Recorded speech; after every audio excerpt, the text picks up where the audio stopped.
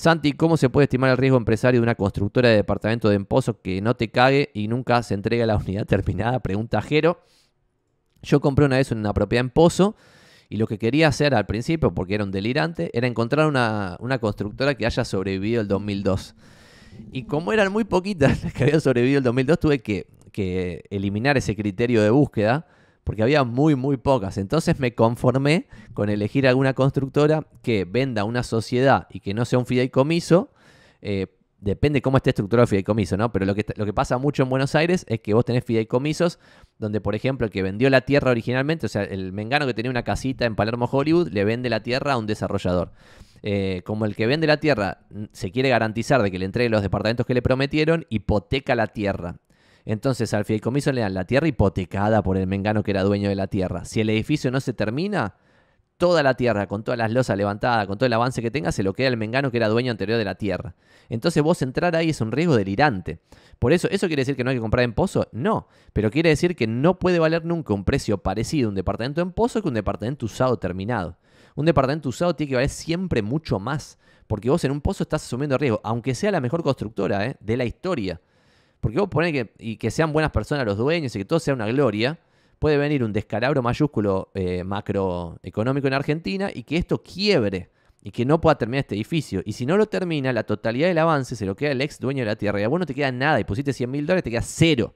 Entonces, ese riesgo, que por ejemplo de invertir en acciones no existe, porque no vas a perder todo, excepto que inviertas en una, dos o en pocas acciones y no tengas diversificación, pero si diversificas tu guita, puedes perder 50%, pero no 100%. Es una locura. Entonces, Dicho eso, buscaría algo que si está con un fideicomiso, leas los papeles y te fijes de que la tierra es del fideicomiso pues, en su completitud y la tierra no está hipotecada por el que vendió antes la tierra, ni por nadie. ¿Está bien?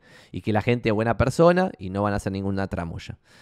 Dicho eso, lo ideal es no ir a esa, sino ir a una sociedad. Y si la sociedad nació en el 2003 y estamos en el 2023 y sigue operando y sigue construyendo edificios, como fue la que yo terminé eligiendo, que no pude elegir una que haya sobrevivido a la crisis del 2002, pero elegí una que nació después de la crisis del 2002 y la persona ya construía antes, o sea que inclusive esa persona que era bueno y toda la pelota, dejó algún departamento sin entregar, entonces estaba asumiendo riesgo.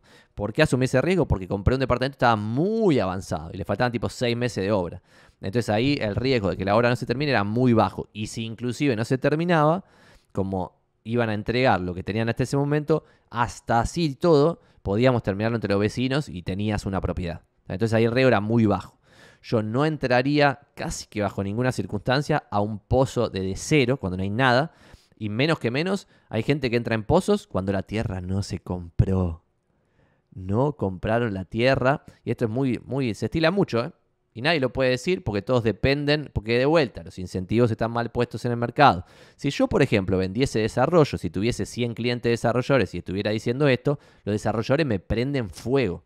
Entonces no lo podría decir. Como tengo un negocio que vende usados, puedo confesar cómo es el mercado. Tenés parte del mercado que está vendiendo cuando reservan un lote. Pisan un lote, lo reservan al lote el desarrollador, al reservarlo sale a prevender unidades funcionales y con la preventa compra el lote el que está comprando esa unidad es un delirante. Porque obvio que en general sale bien, pero hay un riesgo muy alto que no te lo están pagando, porque la ganancia de ese riesgo se lo está llevando el desarrollador, no el inversor de a pie que está comprando antes que se compre la tierra. Entonces eso me parece un delirio, no tiene sentido. Yo creo que con el tiempo se van a ir haciendo tipo un puzzle de intereses bien armados, donde vas a tener inmobiliarios laburando usados, inmobiliarios muy profesionales laburando pozos, desarrolladoras muy profesionales construyendo pozos, empresas que perduran 30 años, 40 años y qué sé yo, y que no vuelva a una crisis de 2002 donde quiebren todos. Bueno, y si vos vas armando esa, esa, lógica, ya vas a tener un mercado de muchísima confianza, quizás también el que vende la tierra puede agarrar metros, las desarrolladoras más serias, las más lindas, le dan metros ya construidos al dueño de la tierra. Entonces no hipotecan la tierra, la tierra la ponen en el proyecto, ¿está bien? Y lo más serio también compra la tierra. ¿Está bien? No salen a reservar, pisar el lote y sacar salir a buscar la plata para después comprar el lote. ¿Está bien?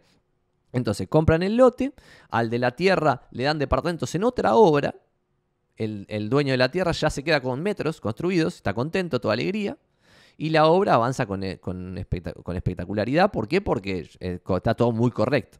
¿Está bien? eso es lo que yo me fijaría, es lo que yo me fijé y lo que te recomendaría en tu caso. Y si querés asumir un riesgo delirante, entrar en un pozo, comprá barato. Ahí obvio que tiene sentido. Si vos entrás muy barato, que eso a veces también algunos lo hacen.